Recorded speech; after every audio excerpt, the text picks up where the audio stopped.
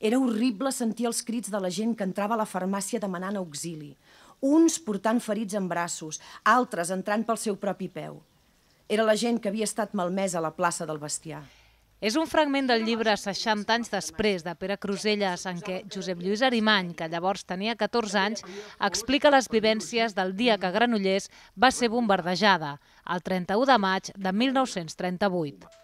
S'ha llegit durant l'acte de commemoració que s'ha fet aquest matí al cementiri de la ciutat per recordar les víctimes d'aquell dia.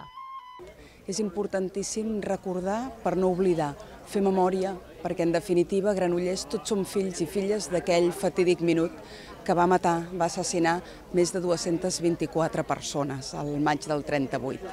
El bombardeig de Granollers és un fet rellevant en ell mateix, extremadament dramàtic en ell mateix, però també és el símbol diguem-ne, d'un genèric, no? d'un universal, que és eh, aquest terror sec del bombardeig, de, de les víctimes indiscriminades, de les víctimes que ho són en un percentatge molt alt per atzar.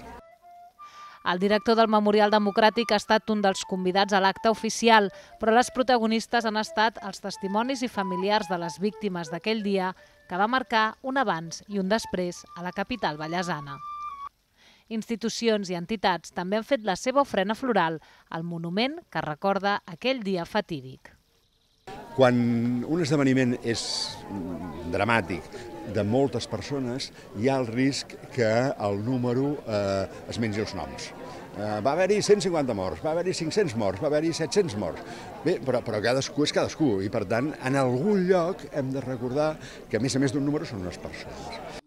Fa anys que Granollers treballa per posar noms i cognoms i dignificar el record de les víctimes, rescatar la memòria i treure de l'oblit les persones que van patir i les que van morir en el bombardeig.